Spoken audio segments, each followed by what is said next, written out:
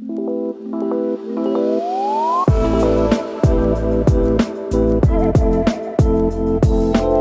this tutorial, we will build a slider that shows its value and syncs it to everybody else in the world.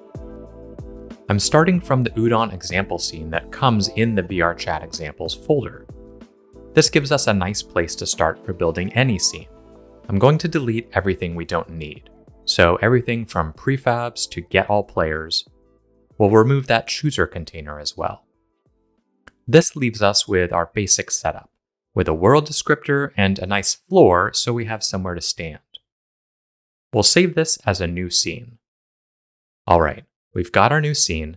The first thing we're going to do is actually build out this slider. So sliders go on canvases. Let's choose UI, canvas. By default, this is a screen space canvas, not so good for VR. We want a world space canvas. I'll set it to 512 by 128, just around the shape of a slider, and zero it out. Let's take a look. Wow, that is big. By default, world space canvases are very, very large. I like to take them down to 0.005. That's typically a good scale. Now let's take a look. There we are. I'm going to move this canvas up in the scene a little bit, and let's make it visible by adding a UI panel. We'll make this panel opaque. And just for fun, give it a little bit of color. Okay, now we can see how it actually looks in the scene here. I'm going to move the canvas itself up a little bit and then towards the camera so it fills our default game view. This will make it easier to follow along as we're building things. We've got our canvas and our panel. I'm going to add a slider to the panel, UI, slider. All right, by default, it's a little small. So let's scale it up. I'm just going to go times 3. Holding Control makes it easy to jump to whole numbers there. To get things working for VRChat, we need to add a VRC UI shape onto the canvas. This tells VRChat that the canvas has interactable items.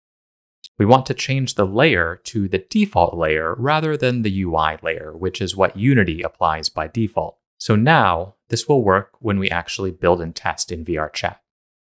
When I select this slider, I can change the value at edit time here. I can see that we go from 0 to 1 with floating point numbers in between. Now I want to see these values on the screen in order to better understand and track the value. So we're going to add a text field to this slider. I want to add this text field to the actual handle here. So let's find that element. Slider, handle slide area, handle. We can see that's the actual bit that moves around. I will add a UI text to the handle. It creates it at a default size here, much larger than the handle. Select the Rect tool and we'll get rect.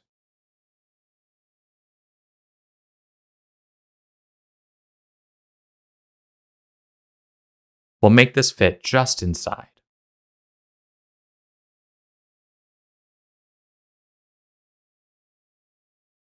All right, so now that fits inside, but of course our text is no longer showing. With our text selected, we'll choose Best Fit and allow it to get very small. It's also very blurry.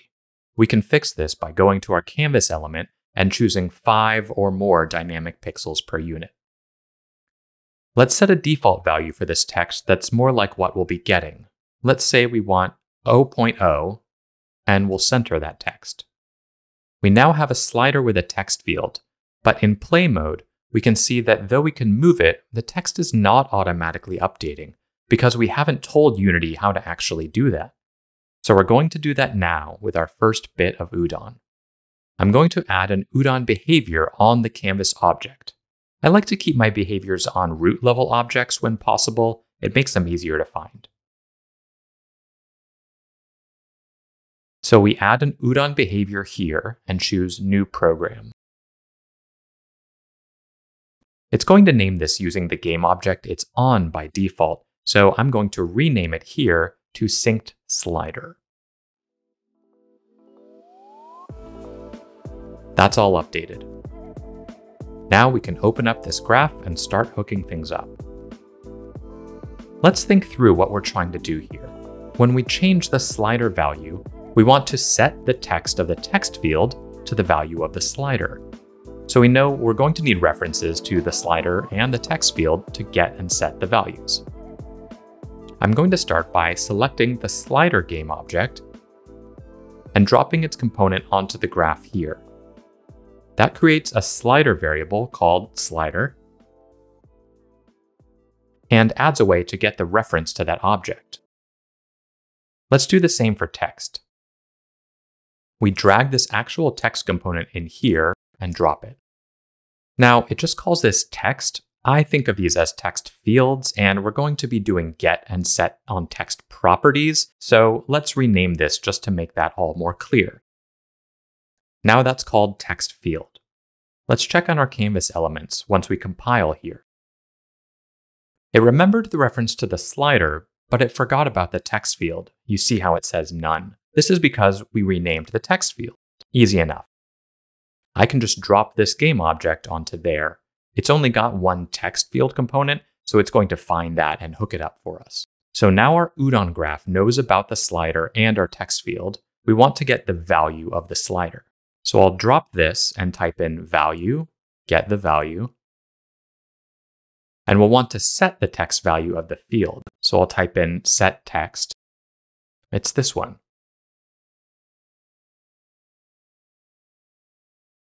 you'll notice we have a green float to a yellow string value here.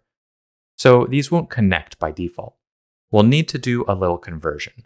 So I'll just drop the float down and type in string. And we get two options.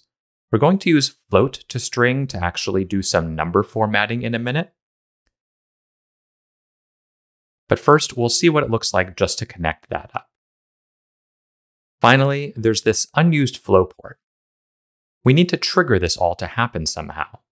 We want this to happen when the value of the slider changes. Let's select the slider and add an action to on value changed. We want it to change the udon behavior. That's on this object here. We'll select udon behavior, and then you can just press S a couple times until you get to send custom event or pick it with your mouse. Now the slider sends a custom event. We can call this whatever we want. I'm going to call it update label and copy that to my clipboard. In the graph, we'll add custom event and paste in update label as its name. Now connect it to the flow, and whenever the value changes on the slider, it will call the custom event update label, which will then set the text of our field based on the value of the slider we've turned into a string. Let's play it and see what happens.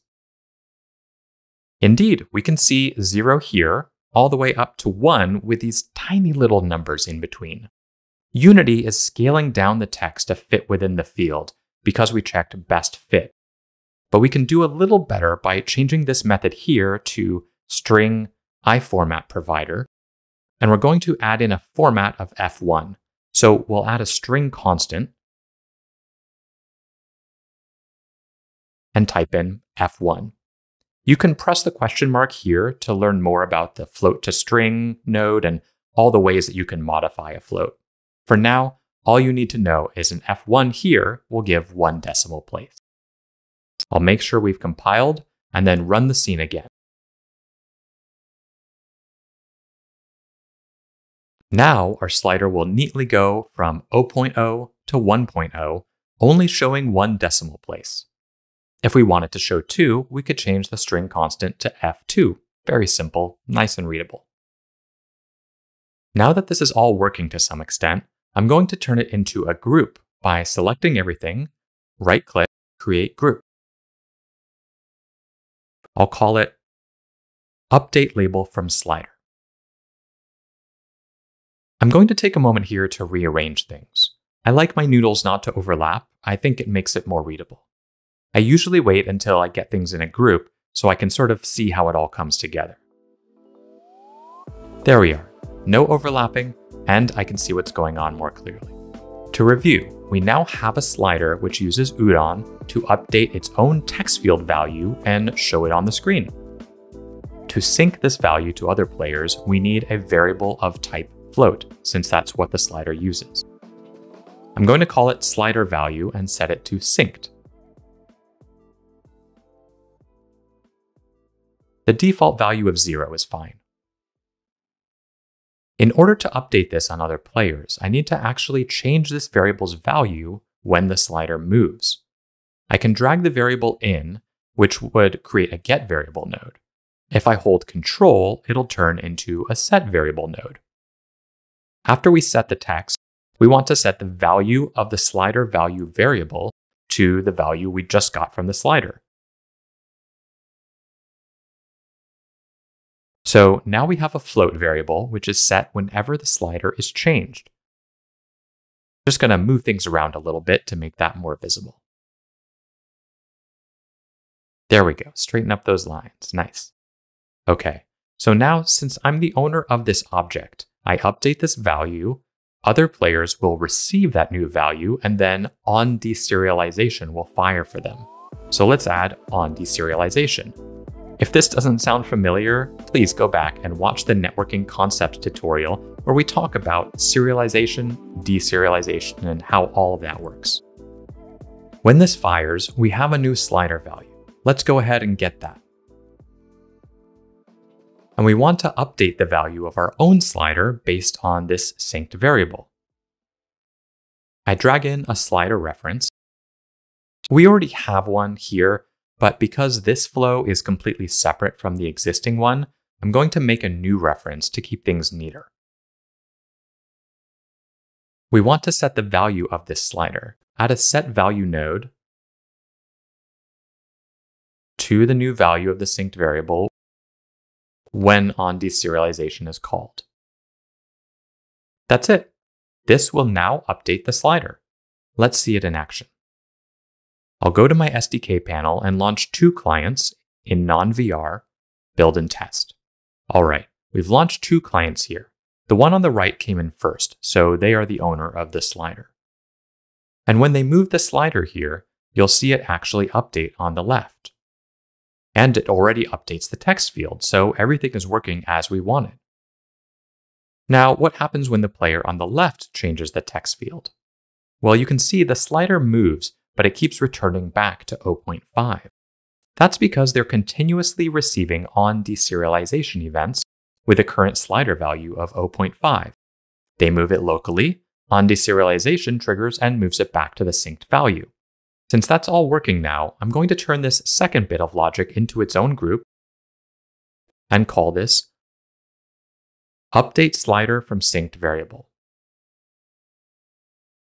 Looking at the logic, why does the text field update for other players as well?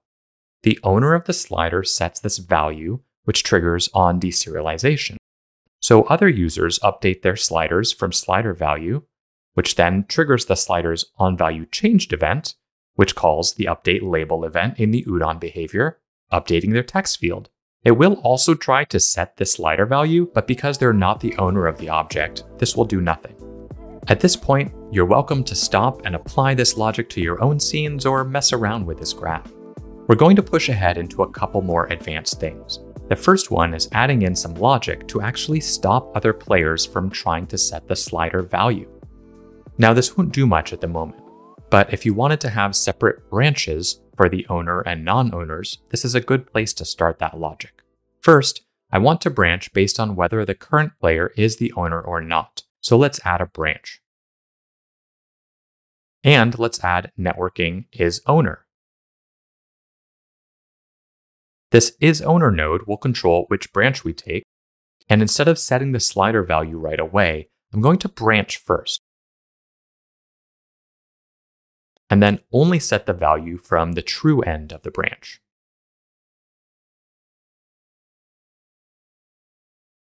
So now this bit of logic here will only run for the owner. Let's create a little group out of that called update variable if owner.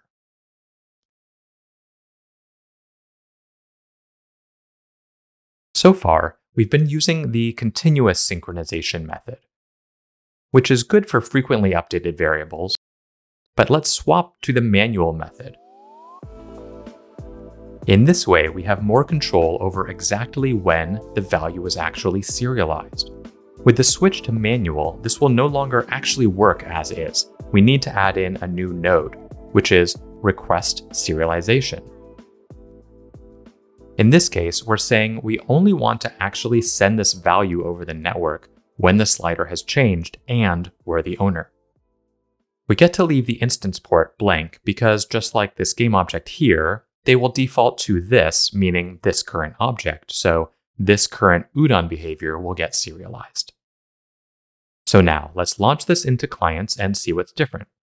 Here we are with two clients again. This time the one on the left is the owner.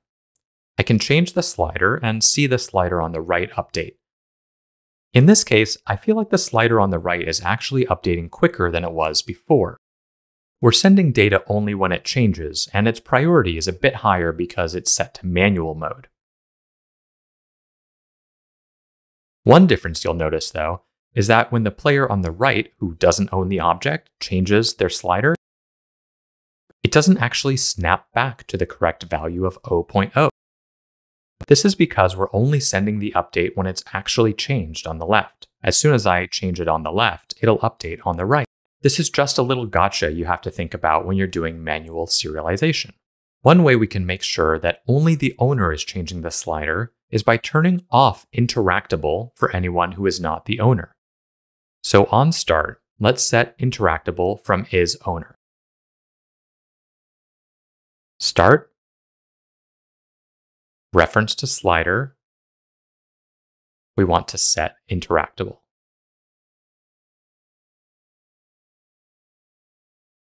And its value will be networking is owner. So for the owner, it's interactable. For everyone else, it's not. Let's also change the color of the slider if it's disabled. So if it's disabled, we're going to turn it red, but keep it opaque. Now let's see if that works. Well, there we are. We can very clearly see that the player on the right is not the owner of the slider. So the one on the left can move the slider around, but if the player on the right tries, they will not be able to move it at all and therefore cannot get out of sync. Since that succeeded, the last thing I'll do is turn this into a group that I will call set slider interactable from is owner. Zooming out to see everything we have, we have tackled quite a lot in this tutorial. Hope this is useful for you and look forward to seeing what you make.